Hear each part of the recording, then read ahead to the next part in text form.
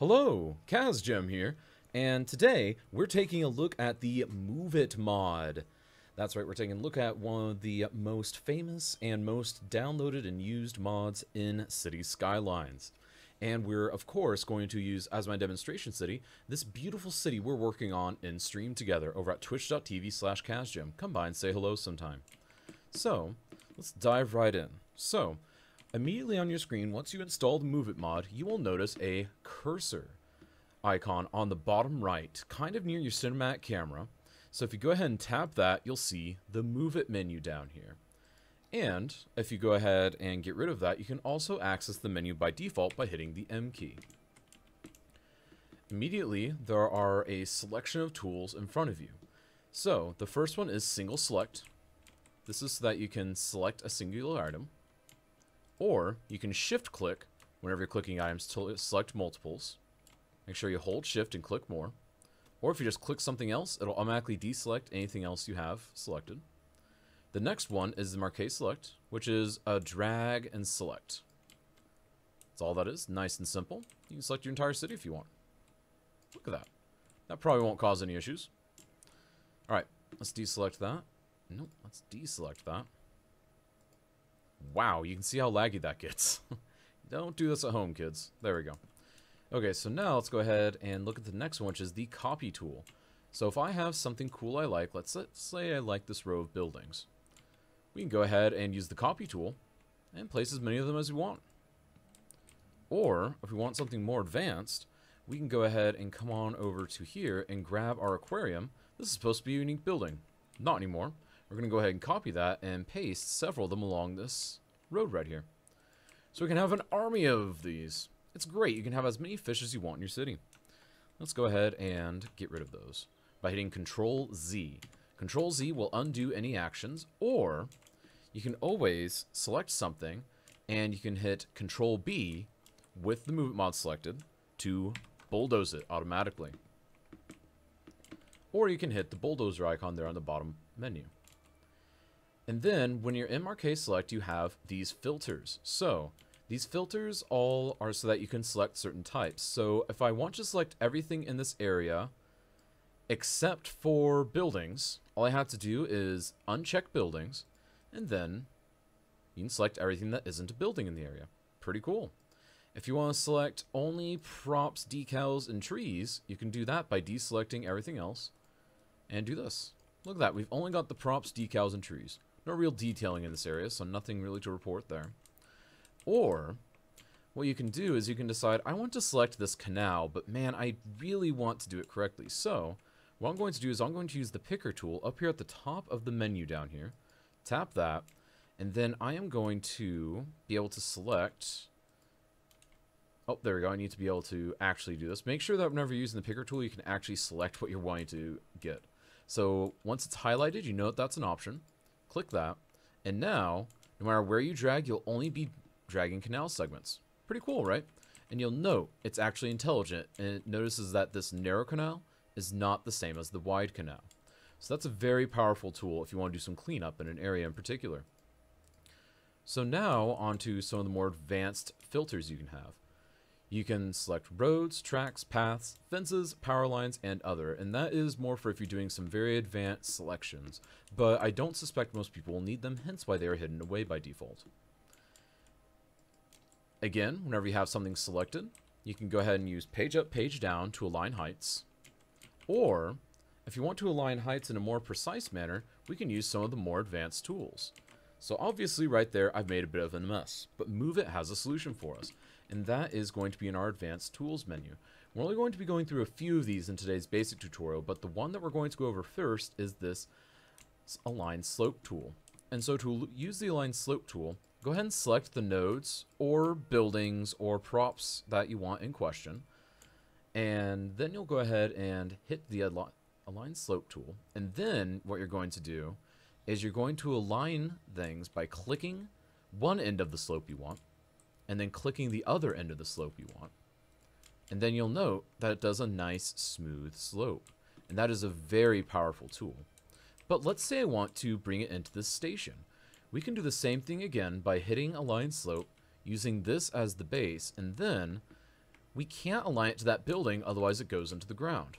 Hmm, bit of a problem. But if we hit Control Z to go back again, we can try it one more time, and this time it'll be great by hitting Align Slope, use this as the base, and then, while hovering over a building or a station or something that has nodes within it and segments, you can go ahead and hold the Alt key, and then look at that. It allows me to select the segments and the node.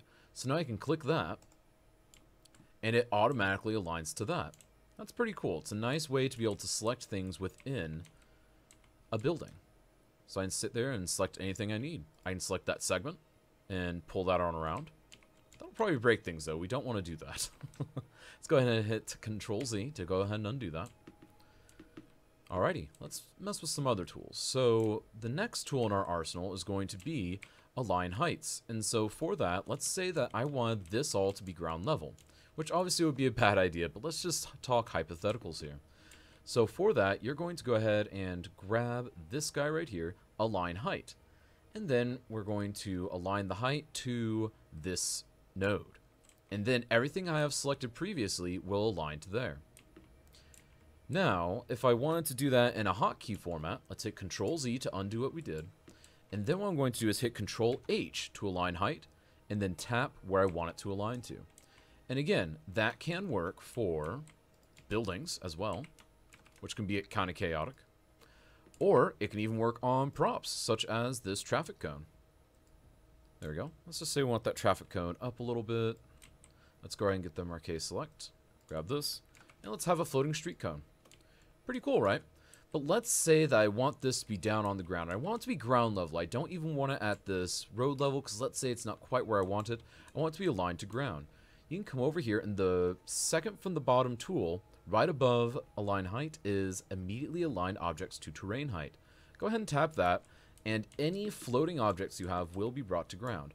Now, you should note that this is meant for props and whatnot, and it will work on some other objects, though in a very limited fashion.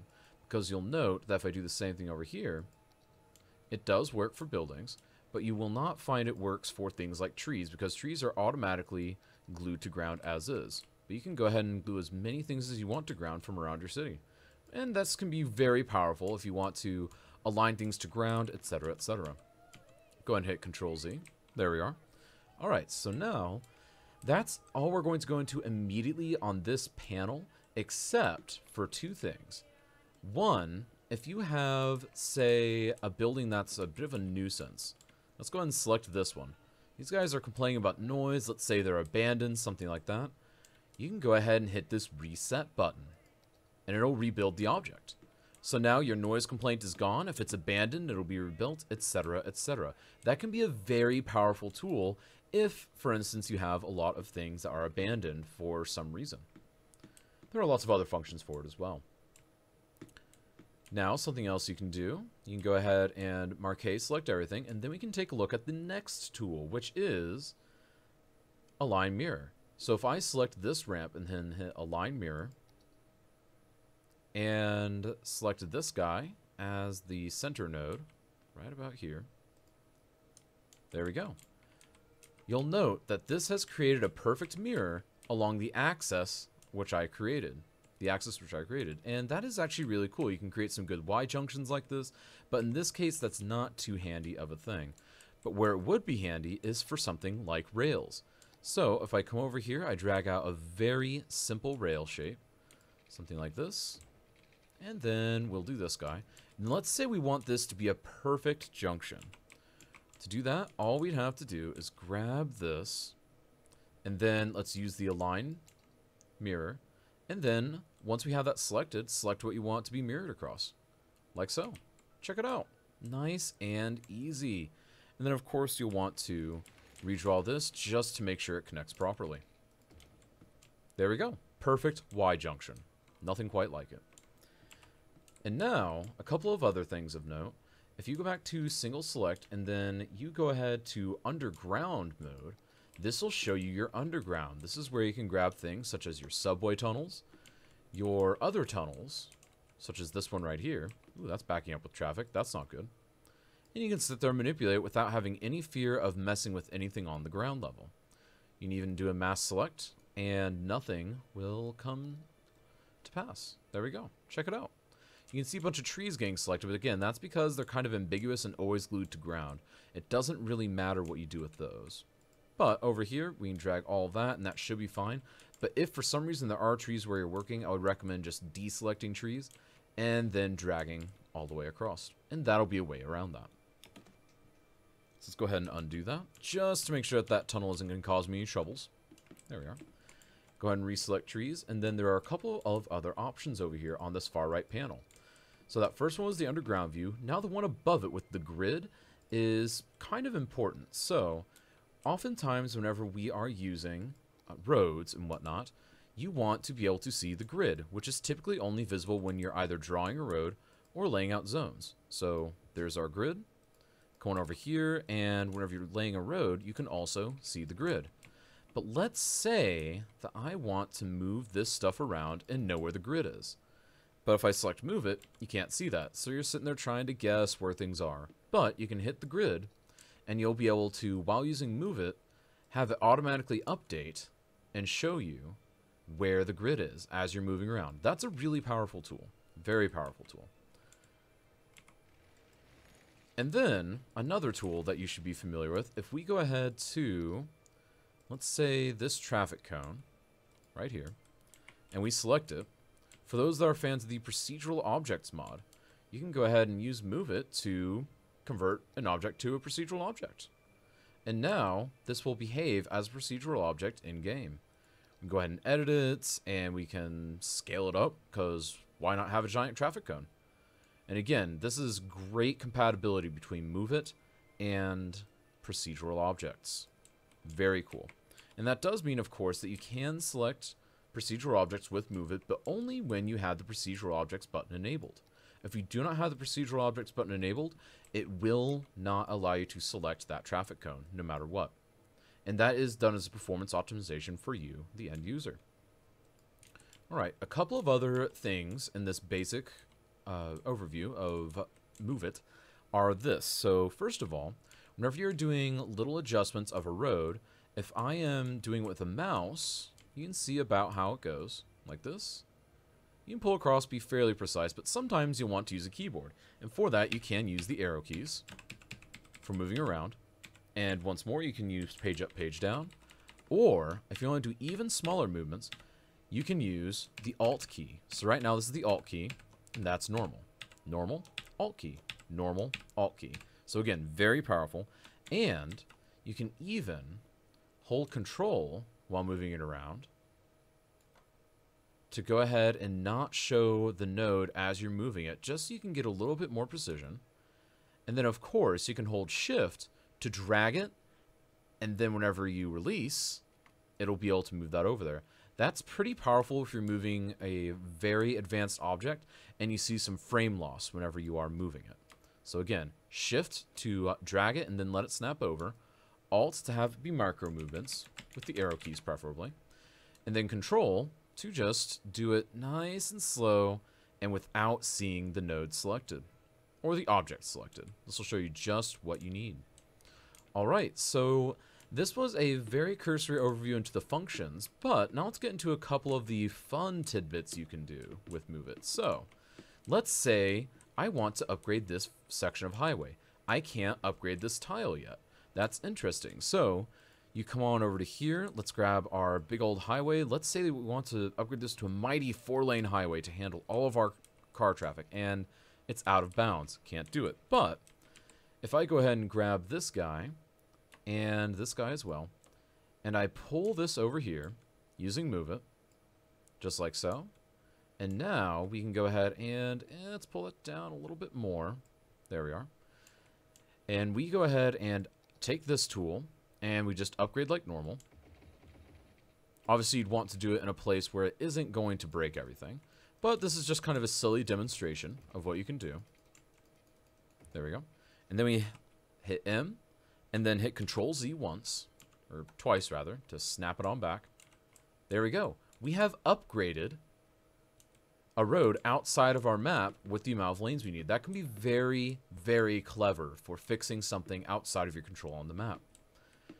Another thing that you can do that is a great trick is using Move mod to create perfect ramps.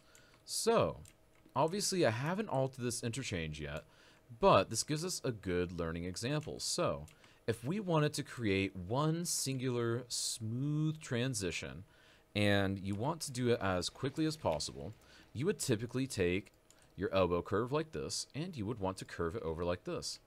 And even with that, turn on Anarchy, yeah, that's, that's not quite right, because we still got all the nodes, things like that. It's not quite perfect. But, if you go ahead and delete those two segments, and then you pull this over with Move It, and then you take this guy, do a nice, sorry, wrong button, do a nice quick ramp connection like so. And then we hit move it and control Z. There we go. And then all you have to do is manipulate this segment as one long segment. And now it's got none of the bumps, none of the bruises, any of that. It's all one segment now. That can be really powerful for making perfect ramps on your intersections. Obviously, this is a stock interchange for the map I'm on, but you get the idea. You can do some very beautiful interchanges like that, as I've done in my past cities here on twitch.tv slash CazGem. So, that is a cursory overview of the Move It mod and some of the fun little functions that I use it for in my cities. If you have any further questions, be sure to comment down below. If you have any recommendations for future videos, be sure to let me know. If you enjoyed the content, be sure to like and subscribe. And also, be sure to come check us out at twitch.tv slash where we stream four days a week, Monday through Thursday, for many, many hours, starting at 9.30 a.m. U.S. Chicago time. And until next time, this is CazGem signing out. See ya!